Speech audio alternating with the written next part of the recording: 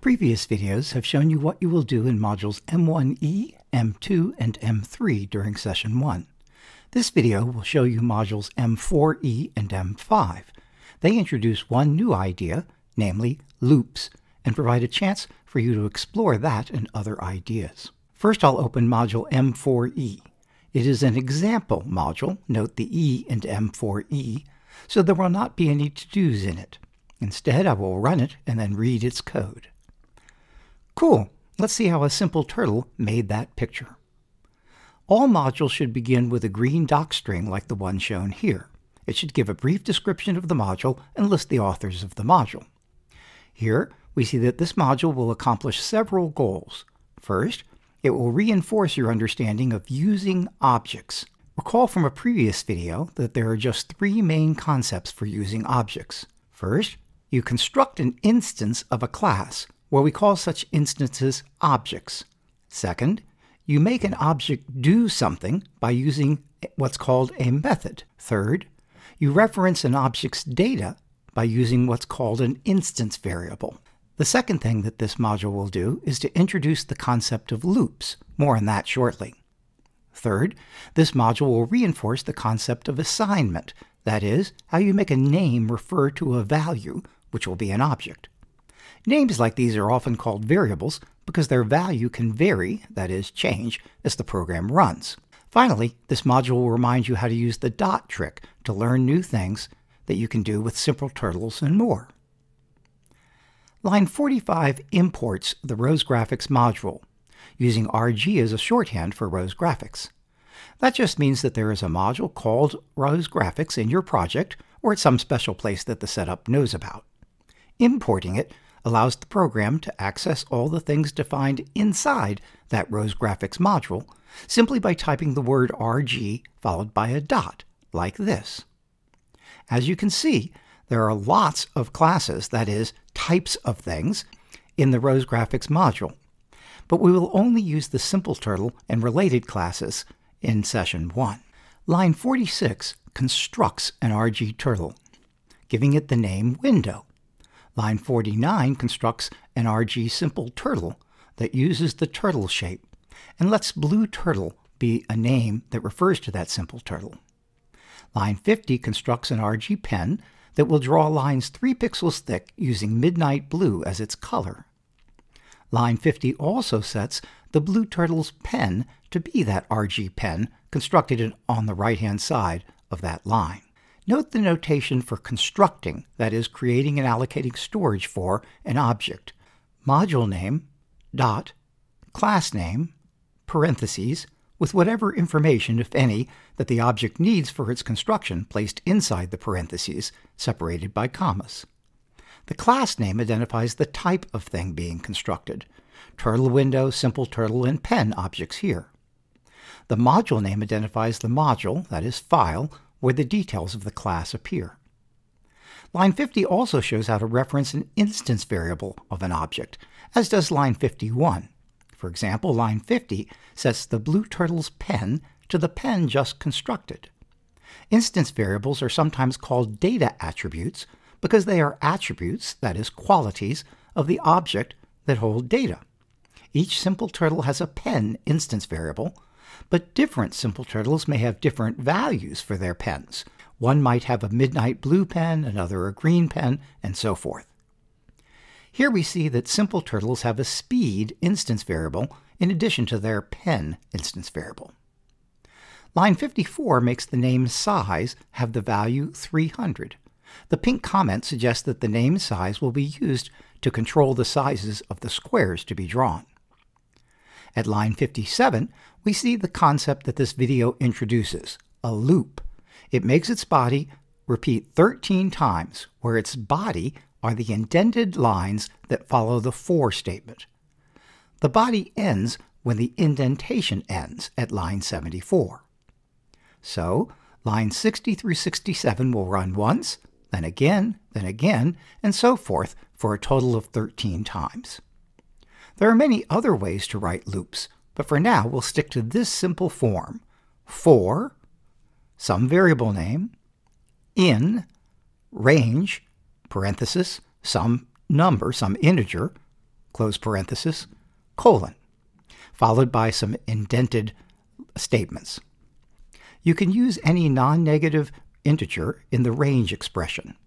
The index variable, k in this example, is set to 0, then 1, then 2, and so forth as the iterations of the loop run. In this example, the index k is not used. Line 74 is not indented, so it runs only once after the 13 times that lines 60 through 67 run.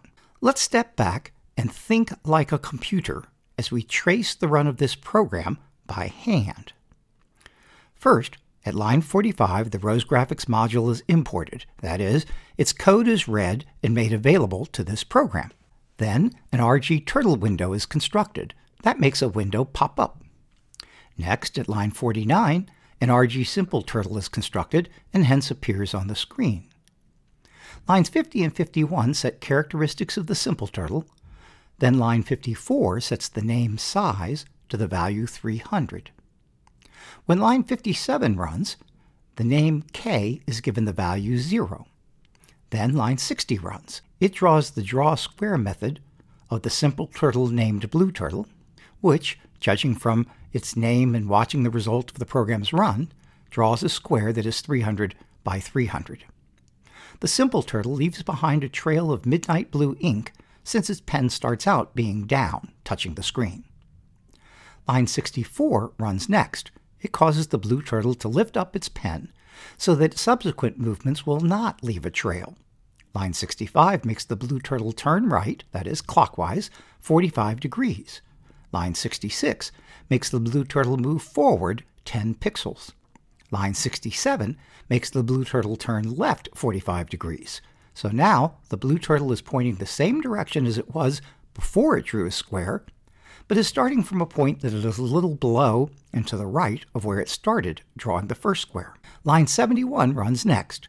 It tells the blue turtle to put its pen down so that subsequent movement will again leave a trail. Finally, at line 72, there is a key statement.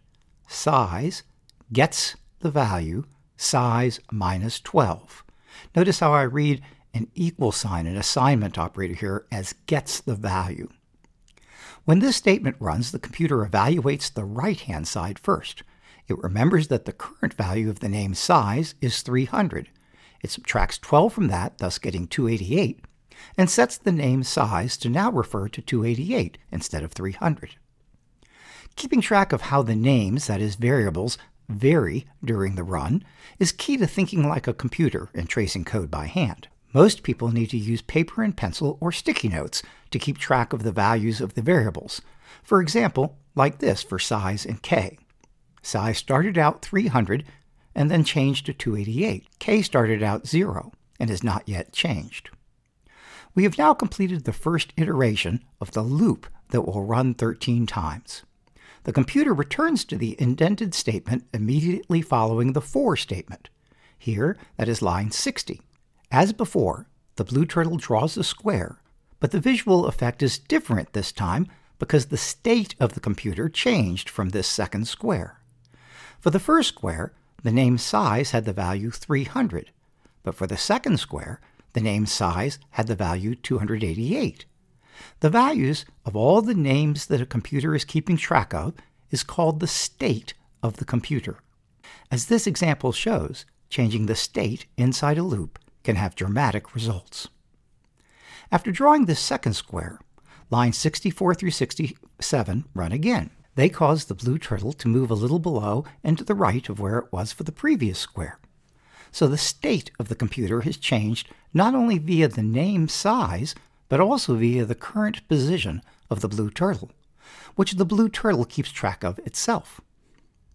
After putting the pen down at line 71, line 72 runs again. Pause the video and take a moment to figure out what the effect of line 72 is at this point of the run of the program.